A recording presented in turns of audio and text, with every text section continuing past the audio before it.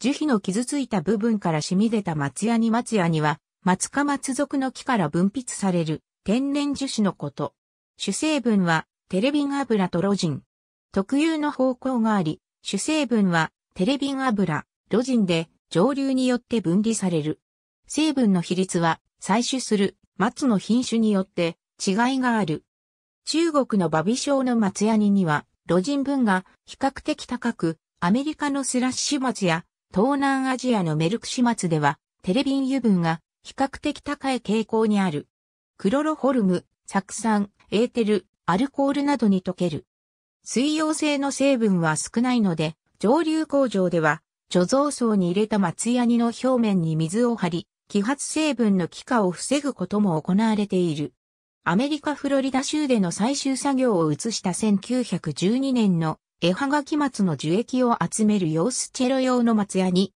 木枠に充填され、皮の包装がされている。産業的には、主に夏場の成長期に、幹の表面に刃物で V 字型、または溝型の傷をつけ、染み出したものをワ缶、ポリ袋などに集めて取る。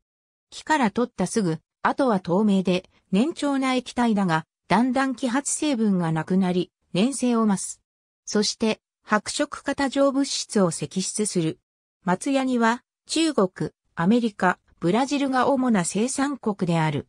中国やブラジルでは主に蒸気のように松の幹に傷をつけて染み出した樹脂を蒸留し、ガムテレピン油とガムロジンに分離して生産している。一方、アメリカ、北欧では、製紙工場でクラフトパルプを作るときに複製するアラ、トール油を整流することで、トールロジンと硫酸テレピン油、または硫酸、テレピン油を生産している。日本では、ハリマカ製があら、トール油からトールロジン等を生産している。日本でもかつては、松の幹から松ヤニを採取したが、地形条件が悪く高老賃で採算が合わないため、昭和30年代に生産が途絶えた。